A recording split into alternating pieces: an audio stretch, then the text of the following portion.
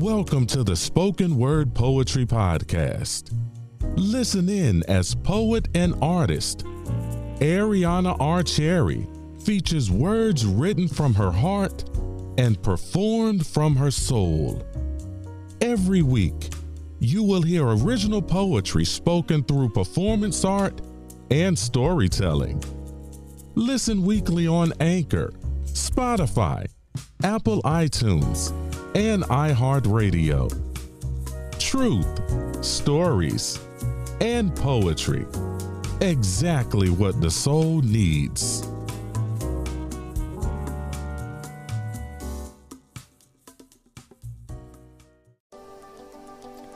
Welcome to an episode of Spoken Word Poetry Podcast. Today I am doing a series, again, usually called Meet the Artist, where you can meet other artists and writers, singers, anyway that has any kind of creative contribution. And today I have Ron Fitzgerald, who is known as a Gothic illusionist. Now you wonder, why would I have a Gothic illusionist on a poetry podcast? Well, one of the first things I've noticed about Ron Fitzgerald when I was at one of his first shows, he has these little spoken bits. I almost thought it was a different kind of poetry before he would do his illusions and all. I don't want to call it magic because I think he may not like that. Um, but they're illusions that he does. But he always would have almost like these little sayings. And that's one of the first things that caught me when I started watching his shows. So we're going to actually talk to Ron about these. And also, he has music with all of his acts as well. Um, so today I have Ron Fitzgerald. And hello, Ron. Ariana, greetings from the realm. thank, thank, you for being on Spoken Word Poetry Podcast. I tried to explain why I had you because I've already had Josh, uh, my boyfriend, who used to host with me on Night Moves Radio, was wondering why I would have you on a, a poetry podcast. I go, well, because of these. Remember those little sayings? He goes, I'm not sure that I do. I go, well, I guess I was the only one who noticed them. So some people do. Some some people they don't. I mean, I kind of use them as really a setup or an introduction to mm-hmm. the illusions, and it's nice because some people like you catch that. A lot of other people just go away, and I've always. I'm glad you mentioned the music too. I've always gotten really high marks from my audience about the music that I use, and mm-hmm. I very carefully curate that, and, and, and, we will get into that as well. But there is there's there's little um, there's bits of poetry and, and rhymes that I use. It's my and I'm glad they stuck out to you as a poet yourself mm-hmm. I wanted a different way to introduce what I'm doing because I look at it as magic and illusion to me mm-hmm. is is best when it is well and and favorite to me when it is presented as as theater and performance art because I like to do big illusions and I like that that kind of, a theatrical presentation. Yes. Yeah.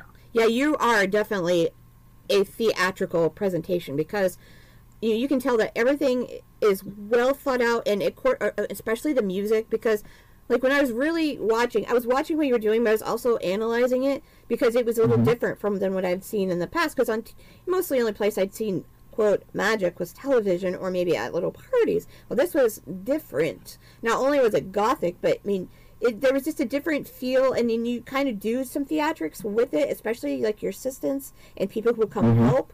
So I knew there was a difference. So when if those out there listening, if you would ever get to see Ron Fitzgerald, any of his um, shows, or he's also on YouTube, you would understand what I was talking about when you would hear see the theatrics. Well, also don't forget to mention. I mean, part of the reason it's so theatrical, and, and, I can talk about how I came around back into this space as well. But I'm also an actor. Yes, I, yes, that's a correct. lot of, of, dark culture movies. You know, uh, dark, uh, mainly horror films and kind of sci-fi kind of stuff, spookier things. Mm-hmm. And and I'm all over that stuff. And I've been acting for the last 20 years as well. And it's because of the persona and the look and everything that I created for my stage show that actually got me invited into, you know, horror films. Oh, that's awesome! I was wondering how you got started. That, well, it is. I mean, when I started many, many moons ago, uh, I, I mean, I, you know, really, you know, I'm the boy next door going horribly, horribly wrong. Mm-hmm. I was just a nice Midwestern boy, and uh, I got a box of magic when I was eight years old, and I, I get a magic kit. A lot of people had them. Uh-huh. Only a few of us going to stick with it, you know. And uh, and but it was in the beginning. Um, that most people looking at me now would they, they just don't they, they don't see it until I show some of the old photos or footage or something. But I mean, when I started, it was birds and bunnies and bad formal wear, tuxedos and things. So It was- there I- was a was- softer side of Ron that got his It- first start. Yes, Yeah. it was. It was really traditional, what I call traditional Yes. magic, and that's the way I learned it, and that's the way my first mentors, you know, taught me. But then I got to a point where that was no longer interesting to me or my contemporaries. So, also as a kid, besides liking magic, I loved horror films, the old Mhm. Universal movies and stuff like that, and I loved, you know, vampires, and I loved, you know, you know, haunted Yeah. houses and Halloween and you know anything spooky and i also love comic books and, Mhm. and that kind of stuff which is cool because now they're like all the rage in, in, Oh, I in know. entertainment movies so i just took that stuff that i love so much because somebody said to me they, they said you're more interesting off stage than you are on and that to me said i need to change what i'm doing out there then because this just Mhm. this is not going to work Well, probably Um, because I mean, out on stage at the time you weren't really projecting like you, who you were. Exactly. I was doing a nice family show, and I was I was basically regurgitating what I had been taught Yeah. and what I had seen as classic magic. hmm And at that point, I said, "Okay, this is really going to be art, and and to do something more interesting, and to put my own stamp on it." Then I just, you know, I went down the dark, sticky rabbit hole of, you know, uh, all the influences, all of the things that I just mentioned that I like, like horror films and dark sci-fi hmm things like that, the paranormal, you know, ghost stories, you know, the, the weird things, and all of that kind of flooded into the show. I loved uh, uh, vampires and the goth industrial underground, um, uh, which all influenced the show, hmm you know, I- immensely. And so I put all that in, and I changed my persona over time, and it uh, it then evolved, you know, and, and along the way, I, I when I was in college, I studied theater and acting, and I studied it just specifically for the stage show, thinking that that's what I'm going to use it, and that's what I want. to I want those skills so I can use them for my illusion show. Of course. I never knew that later, you know, I, you know, because after that, I worked in amusement parks for a good five, six years. And after that, I started my own cable TV show. But by that time, my persona was thoroughly, you know, transformed into this, this uh, new gothic illusion Mhm. that, that I was doing. And, and after that, um, I had friends come to me and, and say, hey, do you want to be in my horror film? Because they love my look and everything and I actually had the skill set from studying acting and theater in in college Mhm. then you, to using it in the show and all that live performance and then and then a lot of on camera work with seven years of my cable TV show Fitzgerald's Realm which they can see on my YouTube channel and after that then I went into the horror films and the first time I got to make a horror film I was just thrilled to be on set and I loved it and I continued and that's been in the last 20 years. I've just continued to do acting alongside the uh, the Gothic Illusion Mhm. show, And then, and then of course that leads to the theatricality, and then you know things like you know what we're talking about with those rhyming, the, the, the, bits of poetry and everything.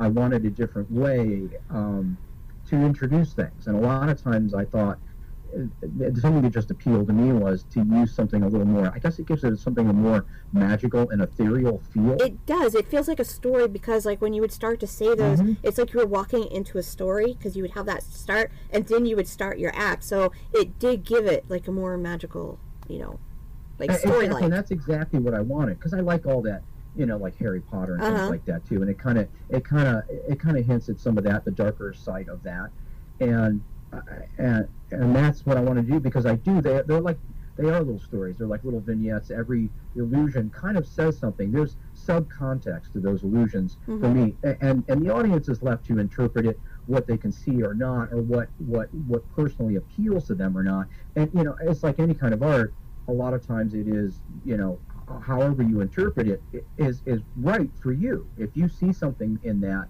that maybe nobody else did that's fine with me hmm you know i have a certain a, a certain you know uh, something that i'm expressing there but if what you thought touched you in a it, your own personal filter in a different way Mhm. and you got something else out of it that's great with me Oh, So well, art- art allows people- yeah. think in some way. Totally. Well, art allows people to do that. Art has always been open for interpretation. That's what's great about it.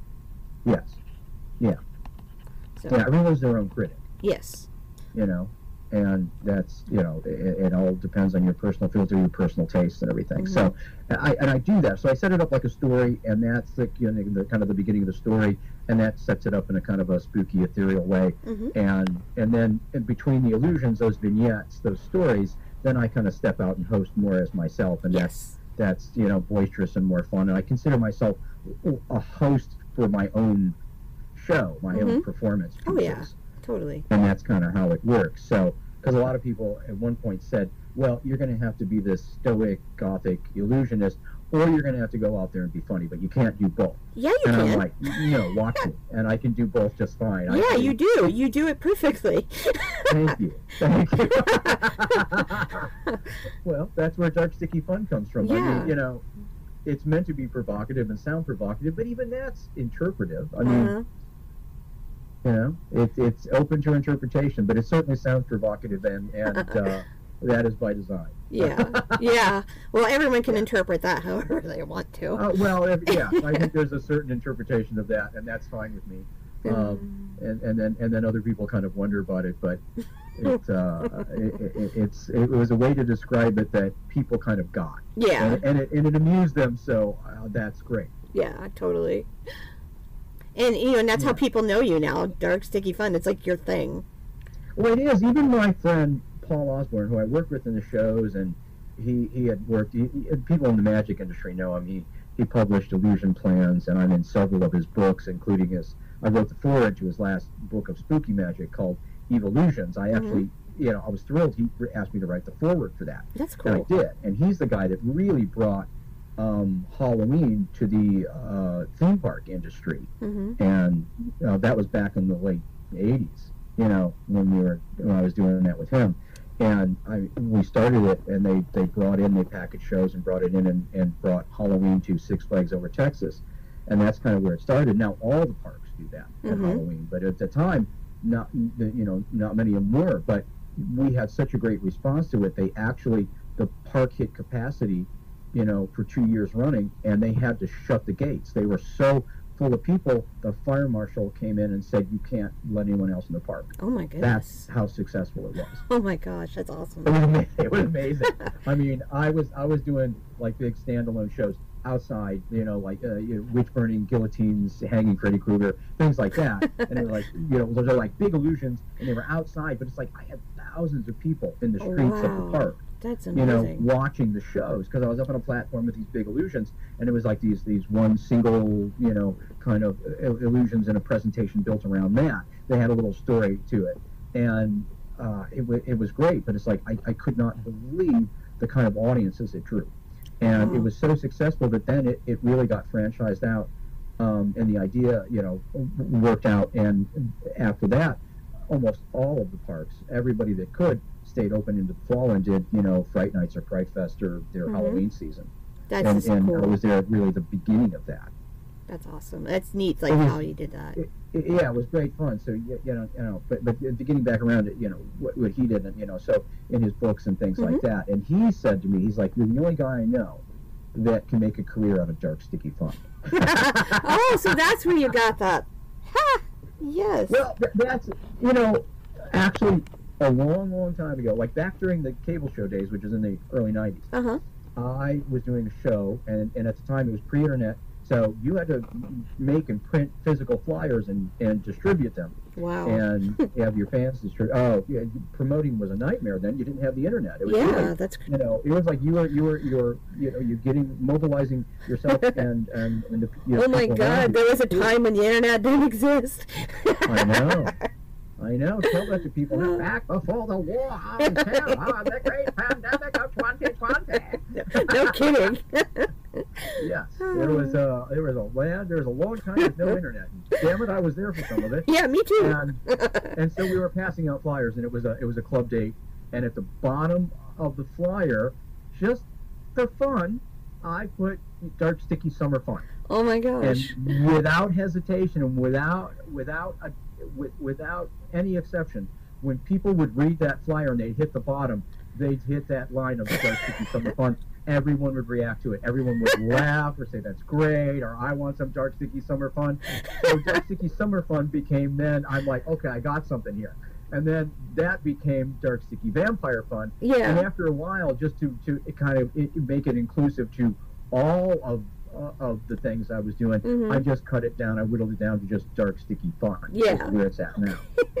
and and and and it and it seems to have stuck. It resonates with the audience with what I do. So, uh, you know, they they're the ones. It was from the audience reaction that I knew. Okay, this is you know, they That's get so it, and this is what it's this is what we're going to call it. Wow, that's amazing. That's kind of neat. Isn't it wild? To that Yeah. it just came from one thought that was on the bottom of a flyer. That is.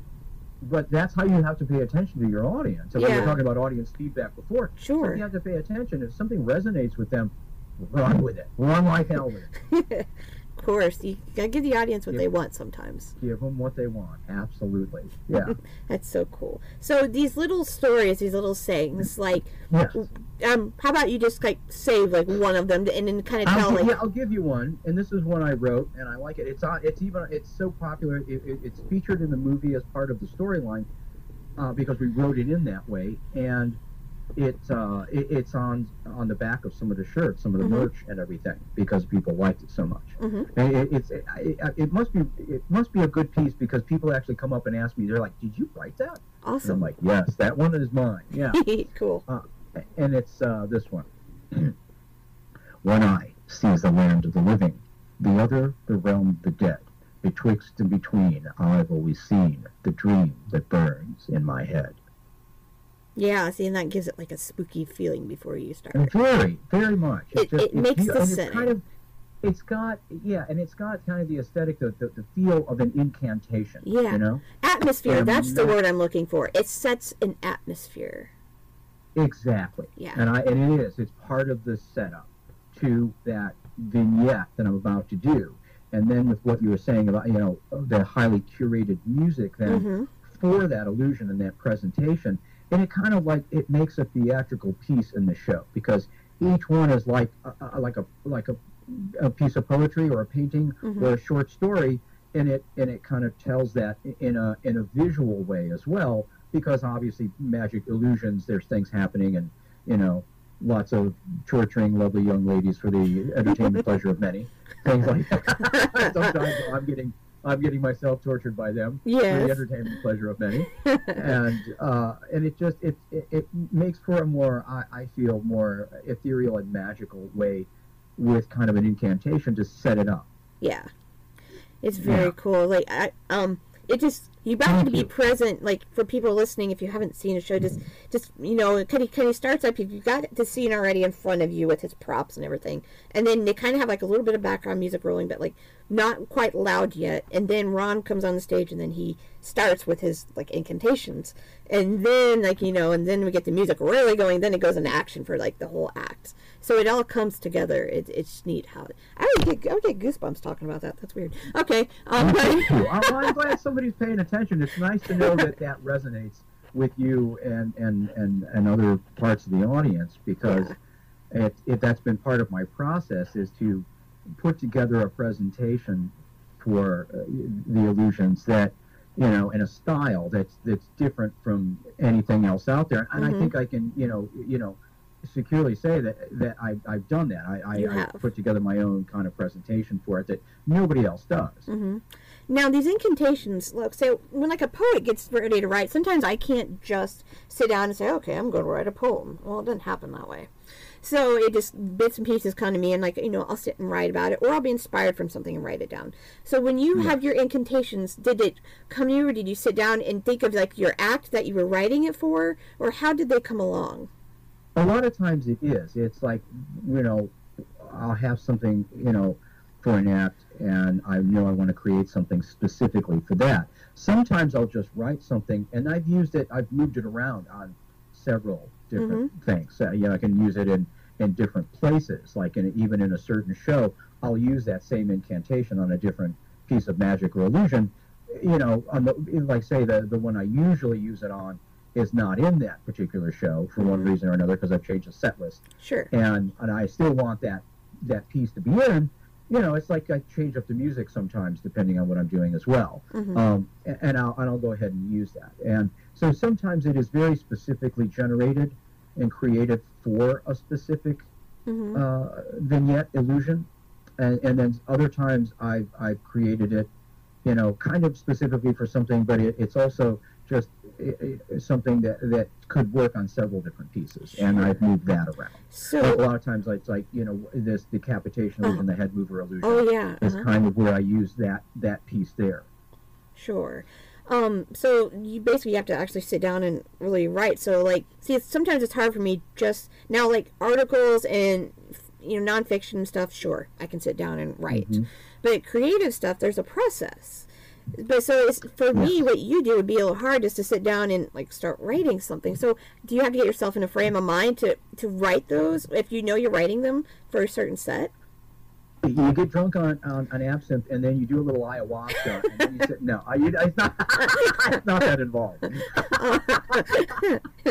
it's not that involved. Okay. Um, no, you just kind of you meditate on it, you muse on Mhm. it a bit, and sometimes and it, it and you get started in, in certain phrases, certain things will work, hmm you know. And I guess maybe because you know Fitzgerald, I'm you know I've got Irish blood in me, so Yeah. I, I like I like the limerick. I've used the limerick kind of style. They are limerick styles, they are. Before, yeah, some of them are, and some of them aren't. Yeah. Um, and some are different, and, and some are not mine. I mean, I I you know I quote Shakespeare from Macbeth before the castle illusion. hmm I you know I, I use a, a piece that I, I, I can't really remember where it came from, but I've got another piece that I learned off a uh, it, it was off an old LP, a record, Oh, neat. Oh a my record gosh. that my my mom uh, bought me when I was a kid. That's She awesome. knew I liked all the spooky stuff, and it was it was a, a whole album of Vincent Price. Oh, that's awesome. Stories Oh my and gosh. These little these little rhyming bits, these incantations, and the Oh. one that there's one that I memorized Neat. that I use in the show before the the voodoo piece, Uh huh. uh, and I'll, I can do that one for you. Okay, Actually, yeah. I, I love that one too. Uh, grant that no hobgoblins fright me, no hungry devils rise up and bite me, no urchins, elves, or drunkards, ghosts shove me against walls or posts. Oh, grant I may no black thing touch, though many men love to meet such. That sounds like And I learned that from freaking Vincent Price. That is- and that's, that's awesome. I love it. Yes. Yeah, it is. It's great. He's, and I he's mean, I feel like classic. That's classic Yeah. horror right there. Yeah, that's good stuff. Well, that goes right into you know horror royalty. So Yes. like, you know you can't go wrong with that. No. Yeah, yeah, Josh would absolutely love because he is a fan of Vincent Price. So Oh, yes. huge. Yes, and I I, I, I met his daughter Victoria several times. Oh yes, And, so uh, did we. and I- she was super nice. Yes, isn't she? She's, Yeah. she's gorgeous, gorgeous person. Yes. Lovely, lovely person, and she's kind of like really the, the face of and keeping her father's Oh, memory most and definitely. alive at at the horror conventions with the horror audience and everything. Yes. She kind of runs that for the family, and you know heads up the merch and everything. Mhm. And I had uh, gotten uh, the Vincent Price cookbook. Oh yes, that's the I year. had- Yeah, I remembered that. Yeah, and I had she signed it for me, which so was great cool. and um, and then I had to run off and go on stage. I left the the bloody book at her booth with her. Oh she was nice enough to come over and bring it back over to me because she knew I had to go do the show, and that was Yeah. at Dark History and Horror Convention. Yeah, I think that was the first one that we had ever been to actually when we Yeah. met Victoria. Mm-hmm. So yeah, Yeah. that was that was Josh's. If he couldn't meet Vincent, like meeting Victoria was like the next best thing for him. That's like why we Yes. went. well, yeah, that, it was, yes, absolutely. It, it, it is it is very much like that, you know. yeah.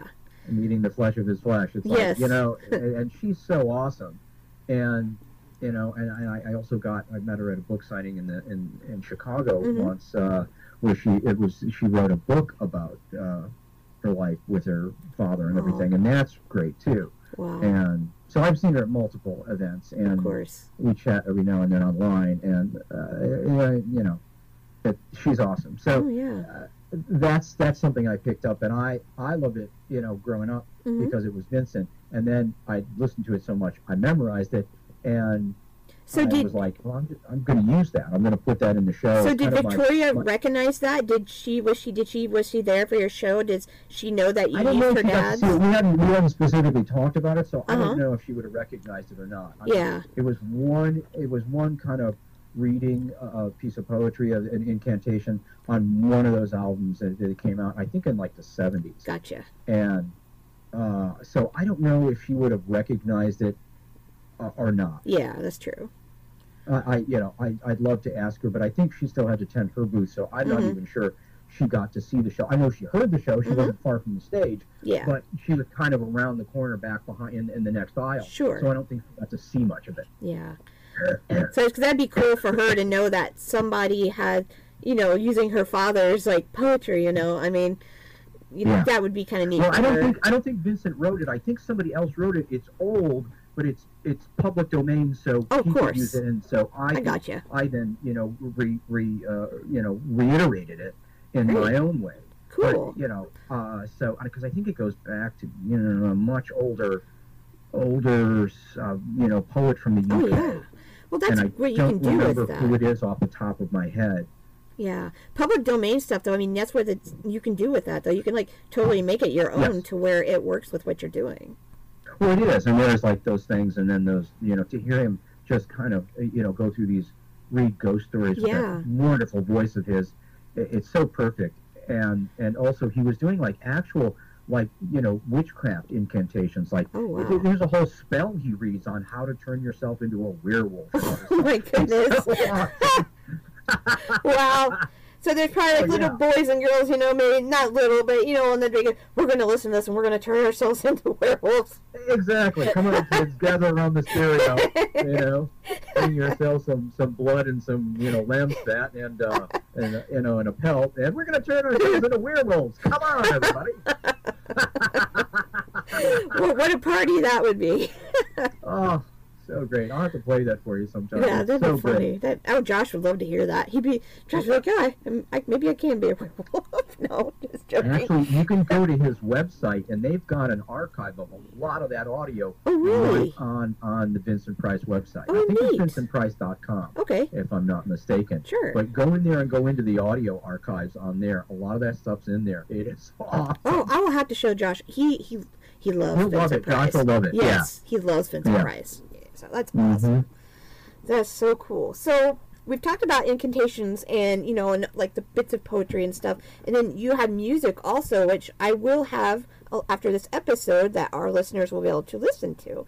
And you you know you Yeah. say you choose carefully on the music, and obviously with some of them, it sounds like you may have had it written just for your shows, right? Well, some of this, some of the music by because I mean, if people want to see what I do and want to see examples of how I present the magic, I made a movie called Dark Realm, which That's is the on best way to watch anybody it. out there. You can see on on Amazon Prime Video in the U.S. and the U.K. and other places. We're Mhm. actually on a, a platform in Italy just picked up Dark Realm. Oh, So Italy picked it up. That's on- great. Yeah, it, it's still filtering out there, and we're still going on, you know, a- around the world, and and we're still pushing it out into new new new platforms, new spaces. But Mhm. you know, it's easiest for most people to find it, especially in the in the states and in the UK, on on Amazon Prime Video, and you know, Ron, you know, look look under my name, look under Ron Show, and, but just look for you know a horror movie called Dark Realm, and. uh and that is largely it's a mixture an artistic mix of my of live performance my live stage performance and it's interwoven with uh, a horror story narrative. So it's a horror film and it's it's, it's a live performance. So it's almost like concert film and a horror film blended together. And it's like 65% of my stage work but shot specifically and really nice you know for for uh, you know for a, an on-camera presentation in front of a live audience, so you know Mhm. it's it's genuine, not like a lot of these guys who you know on television really heavily edit their stuff. Yeah. And it's this is edited, but it's presented in front of a live audience. I wanted to give you an experience of a theatrical, a theater experience where you had the best seat in the house, and, and this is what you would see if you were actually there in the audience, and it is. Mhm. if you come and see me live, you'll see the same kind of thing. Yeah, I've I've seen it a couple times, and I actually got the DVD from you so many years ago, And Awesome. and so uh, yeah, we traded. I gave you uh, a book of my Twisted Past poetry. You gave me a Yes. DVD. Beautiful. yes, we did. It was, a, it was a good trade. Yes, it was. A great trade. So So yeah, so you know what it's like. You've Yeah. seen Dark Realm, and that's as far as you know anybody out there in the audience that really wants to see my work, and you know especially right now where you're you know we're all consuming all this content at home. Go on there and take a look at at uh, at Dark Realm on Amazon, and you, you'll see what I'm talking about. You'll see and hear some of these things that, that we're doing. You can see that how I set it up with the incantation, and then go in and and, and hear all the music. So the music then is is heavily curated a lot of times I, you know, in my when I'm in a in the movie, I had to replace a lot of music. I use a lot of like big name music and, and artists that would be recognizable to a lot of people. Mhm. Uh, you know, like you know David Bowie, the Sisters of Mercy, Rob Zombie, Marilyn Manson, and and and others. You know, um, a, a lot of them. Uh, and and, and in music venues that have a music license and everything in different places, or if it's television, still when I've been on, on national television or something, uh, they all have music licenses, and and, and it's uh, you know you're allowed to use that music then. Um, and most of the time I do. But for Dark Realm, since we were going to patch, you couldn't sell it.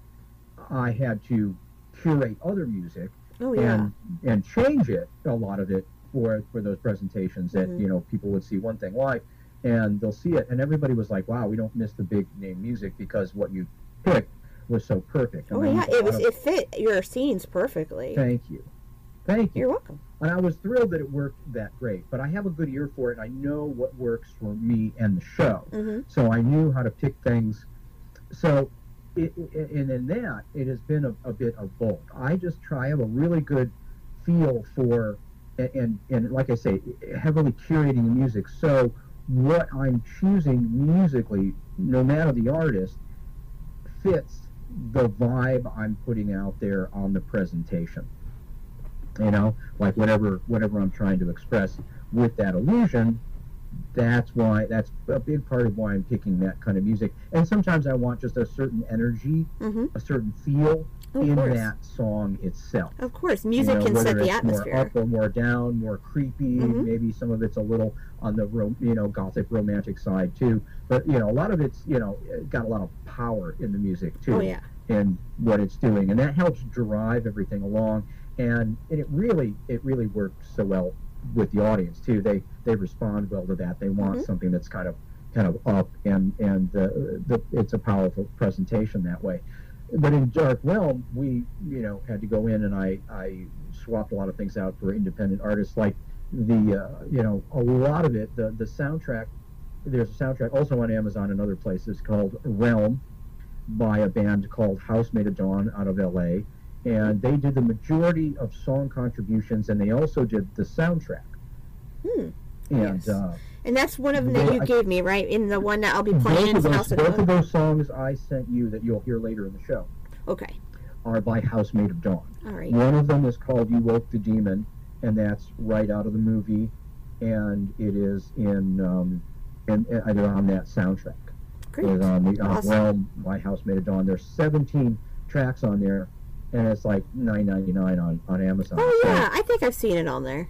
yeah, and and it's it's awesome. I mean, um, We'll put a link So, to that on our uh, show d- uh, description, so that Yeah. people can. We'll put a link to your Amazon uh, show, uh, Dark Realm, and then a link to um, the soundtrack.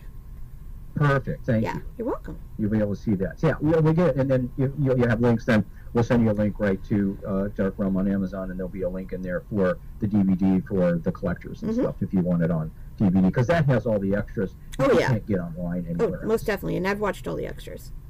Thank you. It's got two behind the scenes, which are really fun. Yeah, they are. It was it was fun to watch, and then I think there's even a part has some commentary too, right?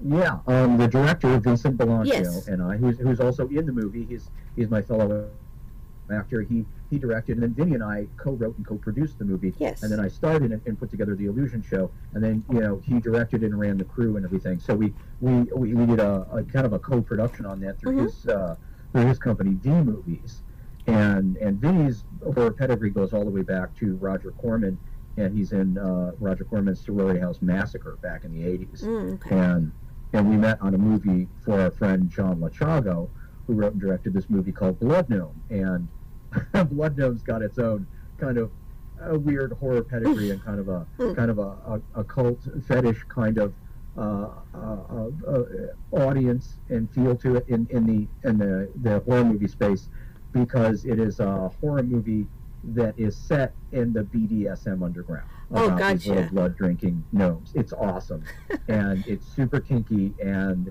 if you're looking for a weird horror film about little dr- blood drinking gnomes that uh, stars Vinny, Blood Gnome, go find Blood Gnome. You'll you will you'll be glad you did. and that was written and directed by our mutual friend John Lechago.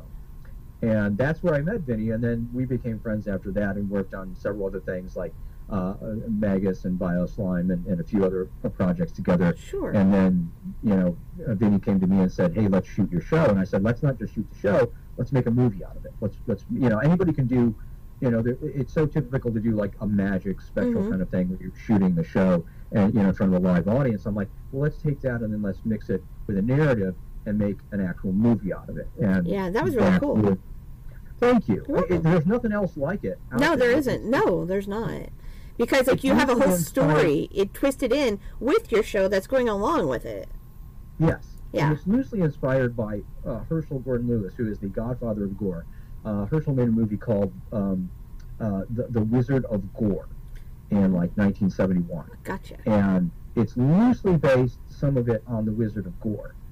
And and so it's kind of inspired by that. But other than that, there was not, it doesn't have all of that live.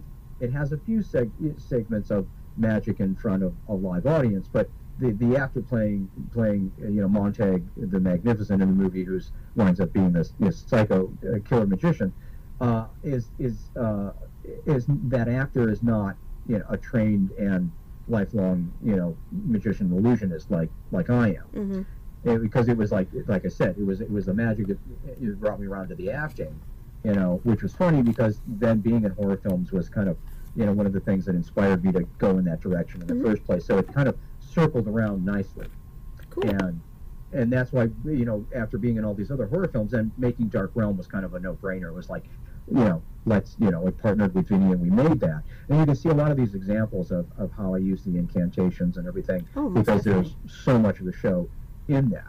Yeah, it's like you went to basically one of your shows, and then you get to watch a movie while you're watching your show. Exactly. it's kind of it's kind of neat that way. yeah, it's pretty groundbreaking in that because Yeah. there's nothing in the magic space. Because if you look at magic movies or if you look at horror films about Mhm. magic, nothing else is like it. And Uh-huh. that's I, that was again was something I wanted to create. That was like something that you know just hadn't been done, and that makes it a different movie. hmm You know, so if for people looking for like a traditional horror film, that's not it. Mm-mm. But if you're looking for something that that that is, yeah, and it gets a lot of high marks for being not a typical stereotypical formulaic horror film. Yeah. And if you're looking for something that's outside of that typical horror film box, that would be Dark Realm. Yes. You know, you, you definitely want to check it out if you're looking for things that are. Uh, it's something that's atypical Yes, of, of so much of what's in the market. Definitely original and very artistic. So Thank you. Well, that was the idea, is to keep it. It was really, I mean, it, it's like you know, it's like a a uh, an art house horror film is kind Mhm. of how I would. yeah, that's Describe it. perfect. Yes. Yeah, That's a I good I think word. that's the best way to kind of describe Dark Realm. It took me a while to get around into that language, but I'm like, yeah, it's really, it's not just an indie horror film that's different. Mhm. It, it really is kind of uh, more in the realm of art house. Yeah, horror. yeah, most definitely. yeah. Yeah, there definitely Yeah. isn't because, like I said, there definitely was the artistic thing. So the art house, that's perfect way to describe it. Yes, and that, that's what I liked about it too, because you know I was kind of like you know it was like well it's kind of a horror thriller and it's got live performance and it's it's also you know kind of an art film, Yes, most it's definitely. like then then then you know so then you put that in the blender and what you get out then is like, you know art house horror. we got put it in the blender. put it in the blender and that's what you get. Yeah, and it's a tasty tasty drink. oh gosh, that's funny. so so anyway with the music so some of it is i i mean when i when we were creating those things for dark uh, for dark realm and i and i needed to replace all that that very expensive high-end music that you would have to license for that. We didn't have the budget to license the, the big name music. Sure. Uh, so I went in, and like I say, Aurelio Voltaire and um, and uh, Sinister Fate, uh, Jet Noir, The Damn Bats, Thorn Fetish. There are a lot of the indie bands that are in there, but most of the most of the music is done by House Made of Mm. Dawn. And I went to them and said, "Okay, this is what this is the song that I'm using for this illusion on stage usually. Let's make something that has that kind of vibe." Mhm. And so they did then custom make Oh, a lot of those songs that are in there. One of them is, is the, you know the other one that you've got Mhm. uh, called Dark and Sticky Sweet, which plays into the Dark Sticky Fun. Because I said I'm like you got to write me one song that has Dark and Sticky in the lyrics, and, I, and they're, they're like done. Awesome. and he did it for me, and so that became Dark and Sticky Sweet, which you'll see on the Castle illusion in in Dark Realm, Mhm. which many times, you know, when I'm what I'm usually using in a, in a live setting, uh, I was using, you know, uh, the the cover of Tainted Love by Marilyn Manson hmm for that, and he made me Dark and Sticky Sweet, which has these great vocals by by Danny from his band, and she's his female vocalist, and it's really uh, it's it's an awesome song, and it fit perfectly, you know, Yeah, in the, in, awesome. in the context of the illusion, and that then. Uh, and what you've got, there's a special version that's not even on the soundtrack. You can only get this from me when you sign up on my email list, which Uh-huh. you can do, you know, through my social media or through my website, fitzgeraldsrealm.com. Uh, but this version of Dark and Sticky Sweet is called the Realm Lord Remix. Oh yeah, I've heard that one. Yeah, and, and, and that's what I sent you as the other one. Uh, and that has audio drop-ins throughout the song, um, like an industrial track, and it's got all these audio drop-ins from the movie dialogue. Mhm. So it's a special, you know, kind of remix of it, which goes in and gives you more of a feel for the movie. And it's Sure. got some of the some of the poetry we're talking about. Yeah, He actually mixed right into that, which is awesome. that's great. That's awesome. It Yeah. is. So the incantations and also just, you know, also specific lines of dialogue are are throughout that that track. And if you want to get that, you, you, you get that MP3 uh, when you sign up on my email list. And it's perfectly the email list. I'm guessing is free to sign up for, so it's a good free It's goodie. absolutely free. You get you get that as a free gift, as a thank you from me to you when you sign up. There you and go. You can do that on my, No on my strings, website, and it's my totally free. it's completely free. No cost to you. You get free music, which is awesome in remix. And that's the only place to get that song uh, is from me. And you can't get it on the soundtrack. It's not available anywhere else online. You can only get it uh, get it when you sign up. What was the web URL again? Uh, Fitzgerald'sRealm.com. There you go. Fitzgerald'sRealm.com. and you can sign up there or through my Facebook page, which is under Ron Fitzgerald's Realm, or even on my YouTube. If you go to the YouTube channel, in the banner art up above, there's a little yellow button up there. You can click that, and it'll it'll take you to the sign up page as well. Yeah, Uh, and so remember too, if you want to see some of these examples of things, uh, you can see them on my my YouTube channel as well. You're just all over the place, Ron.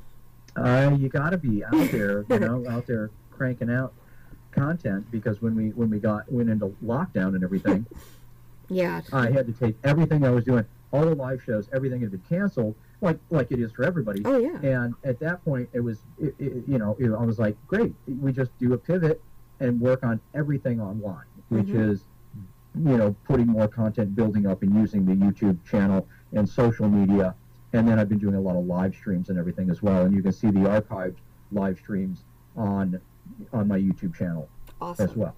That they're on there. Yeah. Yeah, so support, help support another artist because he too has had lots of things canceled, and the artist and entertainment industry really needs help right now.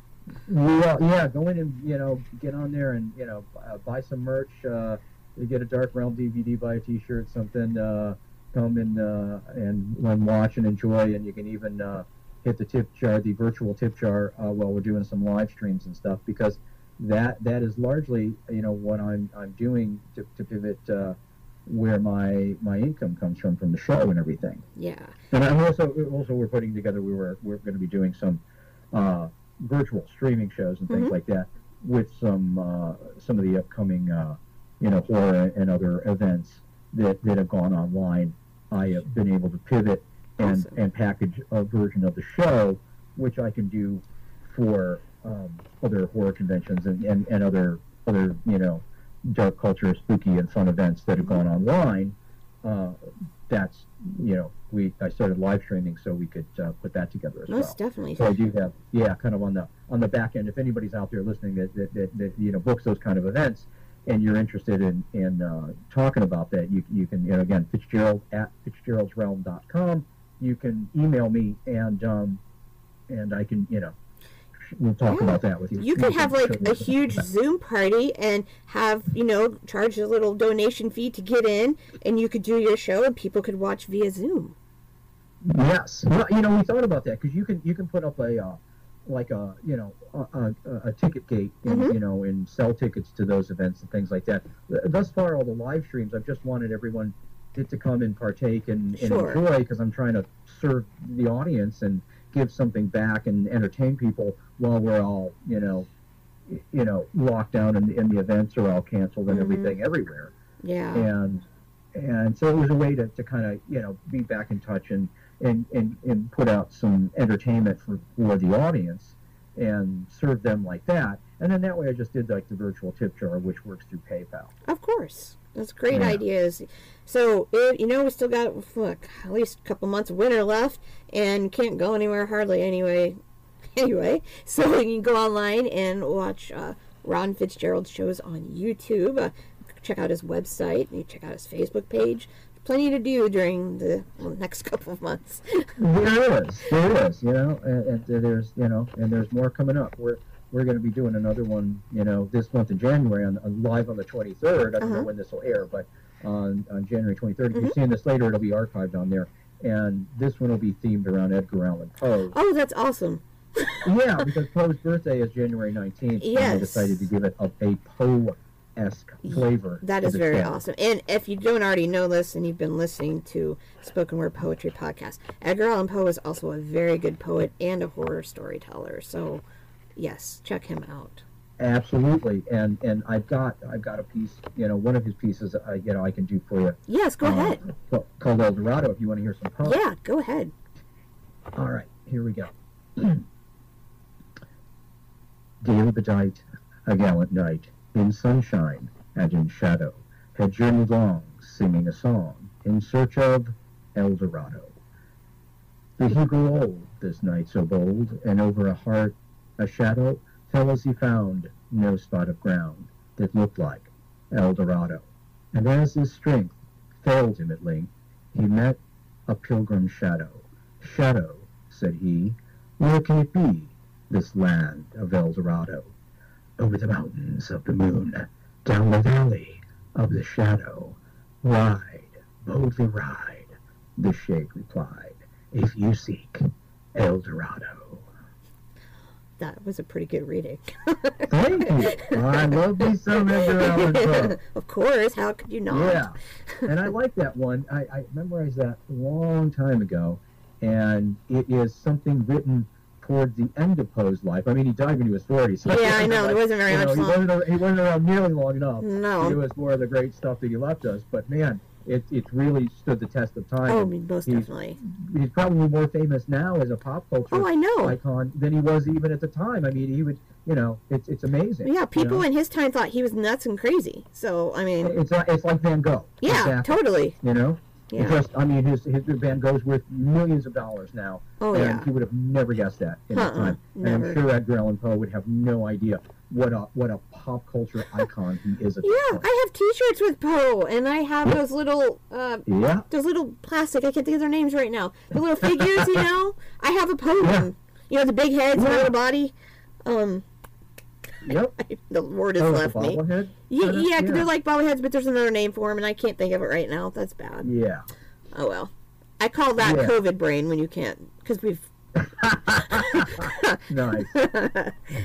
Yeah, that's a new new term I came up with. Me and the pastor. I got me some of that pandemic brain. Yep, pandemic brain, COVID brain, whatever you want to call it, because Yes. you know, I all the stuff that happened beforehand is kind of hard to remember because we've been through so much. So I forget things, and I'd say it's COVID brain. Yes. yes. All right, so um. So, but anyway, I wanted to mention because we were talking about the music and House Made of Dawn and Edgar Allan Poe. So Yes. I- you know, and they're going to be on the show with me this next live stream. that's great. That uh, you'll be able to see, even if, if this is out after the fact, you'll be able to go to the YouTube channel and watch the archive of it. Let's see, today is. And um, that's the great thing about archiving. oh, stuff. no kidding. Yes. Uh, but but House Made of Dawn and I we're working on a new album uh, where they've actually asked me to come in and do some vocal work on it. Oh, so awesome. And I am doing Edgar Allan Poe. I have kind of this this you know presentation, almost kind of a rap kind of thing Uh huh. of El Dorado that we're doing, and I actually I just just uh, heard uh, the temp track. The, Oh, the- so you know, cool. Underneath the, the kind of the yeah, kind of the demo of it, and it's really fun and it's really exciting. So we're we're doing that. There's going to be some other Poe um, on the album, and Mhm. we're also you know doing some other another uh, piece of music with him. So I'm actually doing vocals on some of the pieces, and Oh. they've got um, other songs that they have covered and originals that are going to be part of an all spooky uh, flavored uh, Made of Dawn, new Oh. Made of Dawn album that'll be out later this year Oh, that sounds fun. it's really cool and it was something else that was perfect i mean they're based in la i'm in chicago. So we've been doing this virtually. Uh huh. and it, it's actually something else that, you, that we could do so we could you know uh, actually assemble it and put it together you know because i can i can record au- audio my audio here send it to them and they get the vocals and then he does all the mixing and everything. Of and then he he will you know do some some demos and temp tracks and send to me so i can you know have the pacing of the music. It's uh it's exciting and we're we're hoping to do more Oh, later yeah. but you, uh, uh, you know, they'll, they'll be, you know, keep watching for more about that. But that's it. Kind of pulls it all together. All of these kind of, you know, the kind of the poetry and the incantations and the music and, and some of the custom music and some fun covers we decided to do together. Uh, there's another uh, cover I'm, I'm, I'm doing with him of a, something that, that people will recognize. I'm not even going to say what it is right now. You'll just, you gotta wait for it. You'll Mm-hmm. Sure, just have yeah. to wait for it. well, you know, you've got to do that sometimes. You know, you got to make things a surprise. Yes. Well, yeah, it'll be, it, it, I do. I want it to be a fun surprise, and it'll it is just it'll be a really nice update of it. I, it it's something that I I can't wait to get done and out there. But I'm also it's like, man, it was something that I would love to put a video together for it to promote it and put it on online and everything. And that that that end of the project will will sadly have to wait for right now because mm-hmm. what I want to do with it is involved, and we would need to get people together, which is not you know happening for a little bit. Yeah, that's when we have to are allowed to be around more people and all that good stuff.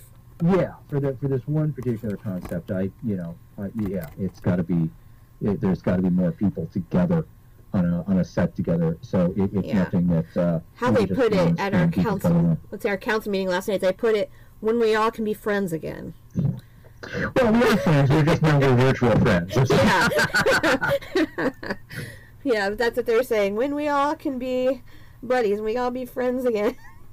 yeah, well, exactly. I mean, you know, and that's where the video chat's kind of fun. I mean, you know, it's the next best thing. You can at least see it is, of course. I've been doing some of that. it's not bad, but it's not the same as No. you know, as hanging out. You know, you can taste somebody's vibe, and you know, don't know. I can kind of pick up people's vibes just chatting, either audio or video. yeah, that well, that you can, that you can, but it's it's just something. It still isn't the same though.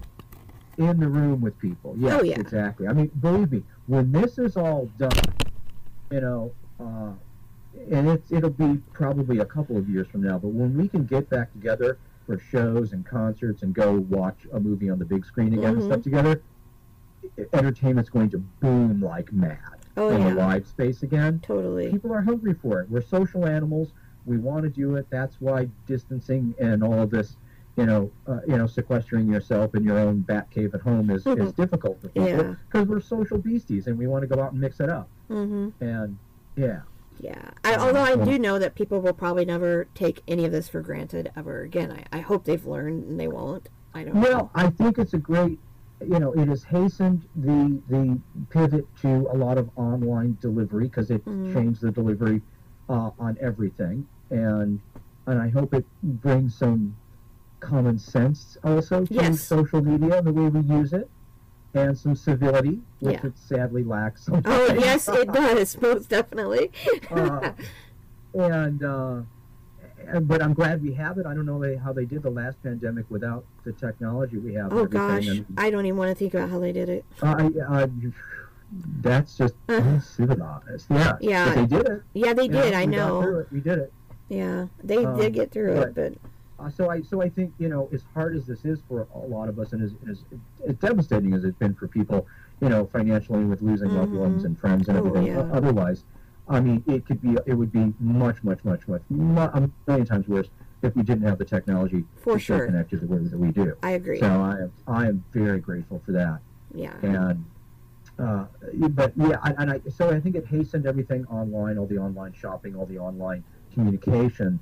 Uh, but I hope it does uh, do a nice little reboot and make people think about um, how to detox and Mhm. de-stress. You know, when you're under the guns for an for extended sure. period of time, and also um, uh, reassess your core values on some things. On what Priorities. really matters. Yeah, what's really important because I, I, I think this really puts that right square in your face too. Oh yeah. The one thing I have Yeah. learned, I used to overwork myself and give myself these harsh deadlines and think everything had to be done now, now, now. I finally have learned to start slowing down a little. It took me a while. It took a pandemic to teach me that. Yeah, you have to breathe. I've been meditating for a good few years now, and I was glad I have that tool, that that resource for myself. And I would recommend it to anybody else. If if you if, you know if you're not meditating, if you'd like to learn, now's a great time to go find a good course and go learn and learn to meditate. It, it is it has made this a lot easier for me to be able to. To, uh, chill out Yeah. that way, and you know, Yeah. and be able to just you know keep my Meditate. keep my uh, Yep. Read some Huh? good po- have me meditate, read some good poetry, have some good tea, or I don't know. Don't drink coffee unless there's no caffeine because you want to chill out. So I'd say some good peppermint tea or chamomile There you tea. Uh, you know, or, or journal. A lot of journaling. Yes. There you go. Yes. Uh, well, yeah. It's it be. I mean, since we are sequestered uh, and things, uh, you know, meditation, the journey in, um, exploring, you know, the inside of you, you know, and those those core values and, and other things, and your creativity. It's a good time for that. I mean, because when I looked at this, I just said, you know, when people were bored at home, just you know, just binge watching uh, telly. we- We've all done a bit of that. I mean, it's Mhm. good to to just kind of veg and just be entertained for a bit too. Uh, but uh, you know, it, it is it has been one of those things where it's like I have you know, I have come up with with more things to do and more projects than ever Oh, I bet. because they were things that that were that, that it got kept getting pushed back. Which now that I have the time and you know just working out of the bat cave here, I can work on all of those things hmm and it's been great for that. So I don't know definitely. why anybody out there says if you're bored, you are not you are not exploring your options. If For you sure. don't, you don't be bored. You can do more than just binge watch. It's a great time to learn something. It's a great time. I mean, you don't even have to spend money on a course. If you're interested in something, go binge watch the hell out of YouTube Yeah, no and the kidding. tutorials and things that are on there. Tons of them. It's completely free, and you'll you'll you will actually learn things. I've learned a lot of things through there and through some of the courses that Uh-huh. I've taken while I've been, you know. And watching Ron Fitzgerald YouTube channel is completely free. Well, yes, there's a lot of there's a lot of entertainment right there, you know, right there. So we've offered a lot of tips towards the end of this, and we've learned a lot about how you have wrote, come either wrote or you found, like in the public domain, of course. Um, you know all Mhm. your um, incantations and, and poetry and all that, and how you've come up with all your music. So hopefully, towards the end of this, people understand why I had you on this the spoken word poetry podcast. Meet the author. Thank you. Yeah, I have meet the Yeah, author I series, meet the artist. when you asked me. I was thrilled that you did because I I love talking about that end of it, which everybody wants to focus on the other end, on the visual, Oh, and the illusions and and everything else. Um, so thank you You're for welcome. you know, recognizing that and bringing me on to talk about that. No problem. I, I love being able to talk about the other elements in, in the art that I make hmm because it is it is very layered. I mean, there's there, there's there's there's storytelling and there's there's audio, there's music, and then there, there's the visual, and then there's the performance and, and even the the acting end of it. Because Mhm. being an actor also helps in the way I uh, present those. Yes. Yeah, I was I was happy to bring another another set of eyes to how your show is seen. So Well, I think well, plus you being a, a fellow artist Mhm. of a different discipline, that's always fascinating to me how other artists, you know, take it in and consume it and process it. hmm And you know, like you say, what you, what what people you know what resonates with them, what they take away from it. It's like Josh really didn't notice, you know, Mhm. the you know the incantations and the the poetry in it, but you because Yeah. that's part of what you do it is. Yeah. that you know you know that stood out to you. So th- that that's great to know. Thank you. hmm You're welcome. Um, anything else you want to add, or did we get everything? Well, and I, I is there anything else you wanted to cover? Or do Mm. you need another piece of uh, you know Well, from the I hear? I hear your voice cracking a little. We're going on almost an hour, and I don't want to hold you hostage. I'm just, you know, I'm a little. I was just like, I needed to clear my throat. I've got, I've got my brand new uh, uh, uh, realm mug down here. Oh, uh, gotcha. Part of the, part of the new merch line. I'm, I'm sipping some green tea out of that. oh yeah, Uh, green teas are that's good for you. That's good stuff. It's great for you. Yeah, So, drink a lot of green tea. Uh, oh, and I was going to say too. You were talking about peppermint tea. yes, peppermint great, tea. Yes. Especially, you know, in clearing the throat and everything. Uh huh. Here's a great like hot toddy recipe if you're out there. Uh, a big a big giant realm mug full of uh, peppermint tea. Make brew some peppermint tea. Leave it in there for a good five minutes. Let it get really strong. Uh, and then uh, you're going to put uh, a little bit of uh, brown sugar in it. Oh wow. Three tablespoons of absinthe. And, and a little bit of uh, vanilla almond milk to taste, and you have got yourself a hot toddy. Oh my That's God. very pleasant. I never heard of brown sugar in with tea. Yes, Wow. because especially the absinthe is also in, in the absinthe ritual, which you'll also see in Dark Realm. There's a there's a whole scene with the absinthe in there, because there's this great mystique and it's considered the artist, you know, kind of alcohol. Yeah. And that was that was and, I, and it was funny because when we shot it, everybody on set wanted to try it Uh-huh. because they'd never been exposed to it and had been around it. So the and the absinthe ritual, it, you you are pouring the alcohol over a sugar cube. And you're lighting it on fire to kind of caramelize Oh. that, that sugar, Yeah. and then you're, you're you're you're then pouring water on that, and then doing what they call the louching. You're louching it all together with the alcohol, the water, and the sugar together, and it gives it kind of this milky green color then. Oh, and that's that's all part of the absinthe ritual. And I just love that kind of ritual Huh. about the drink as well, which Uh-huh. also to me just kind of sets it apart. It's just like that's part of the mystique of absinthe, and it being the artist's drink because you know around the turn of the last century in Paris, Toulouse-Lautrec, and all those crazies were all these great artists, and they were all very, dege- you know, in, into a lot of degenerate behavior, and they loved their al- their their absinthe, you know, and and that I just I just love that, and the oh, fact that it has this whole ritual around it made it magical to me. I Of guess. course. yeah.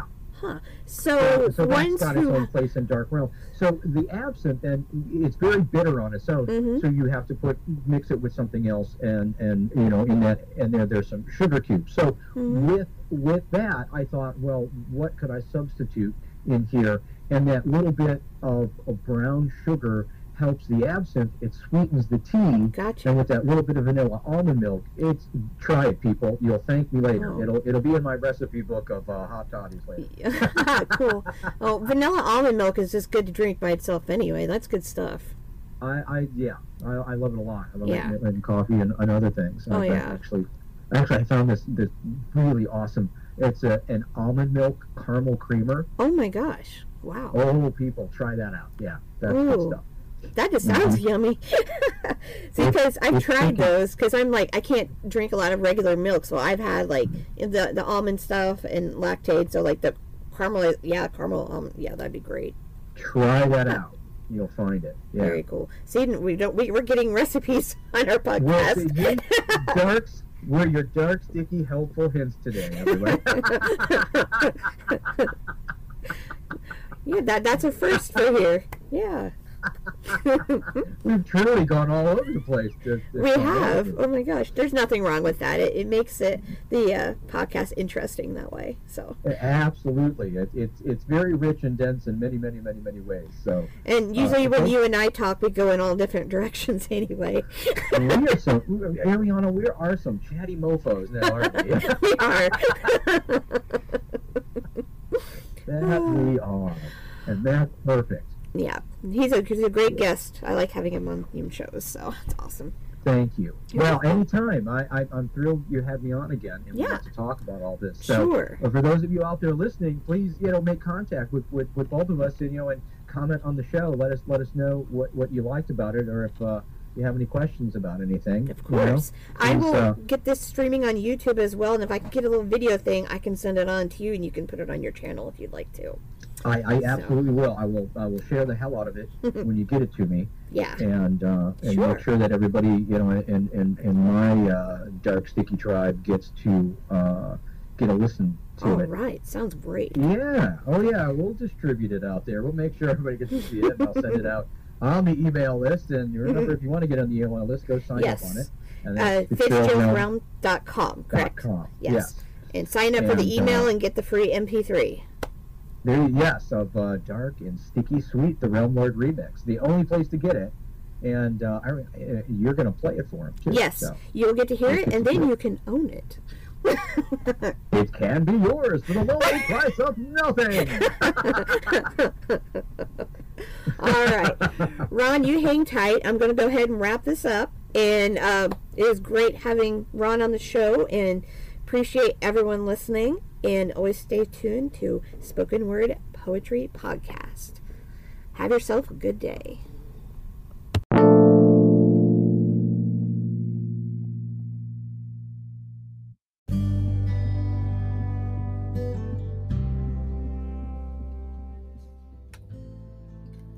If you are enjoying listening to Spoken Word Poetry Podcast, then you just might enjoy poetry written by Ariana R. Cherry.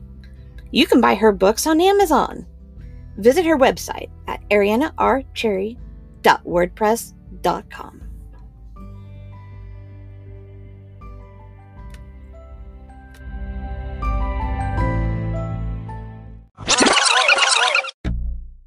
Are you suggesting some dark, sticky fun? Might you think some dark, sticky fun? Might you think some dark, sticky fun? Might you think some dark, sticky fun? Ladies, is our victim ready yet? Yes, Master. Shall we begin? Yes, Master. Indeed we shall.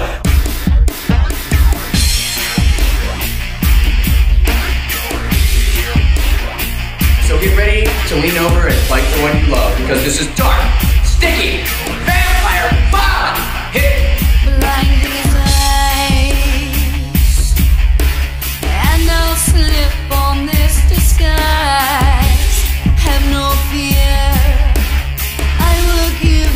Something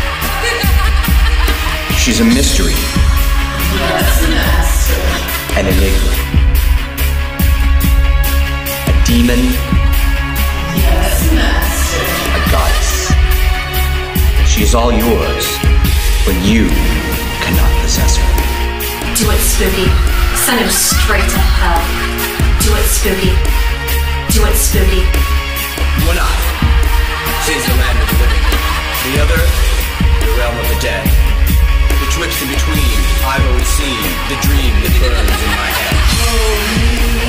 Dark and sticky sweet. Dark and sticky sweet. Dark and sticky sweet. Dark and sticky sweet.